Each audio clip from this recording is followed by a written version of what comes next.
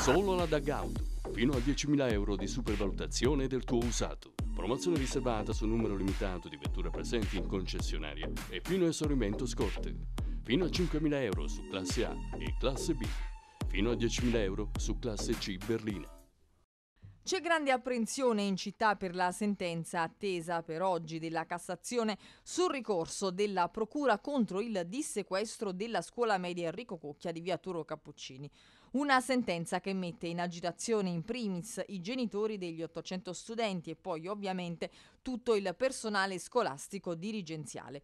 Nonostante il Tribunale del riesame avesse dato disposizione per il dissequestro della struttura di Viaturo Cappuccini lo scorso 28 luglio, la Procura ha deciso di utilizzare l'ultimo grado di giustizia, convinta delle sue argomentazioni.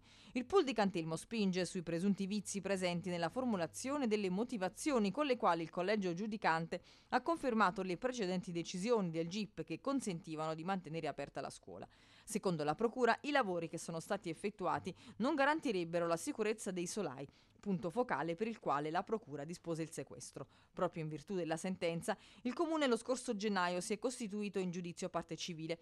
Lo facciamo a tutela della proprietà, hanno dichiarato durante una seduta di Consiglio Comunale. Nel caso in cui la Cassazione dovesse cassare o rinviare in Procura il tutto, si rivaluterà ogni aspetto dal punto di vista sostanziale e di merito.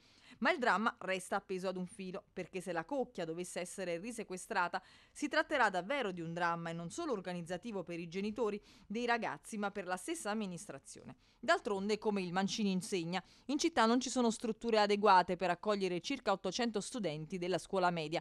Dunque, sullo sfondo dello scenario si legge in maniera chiara la scritta doppi turni.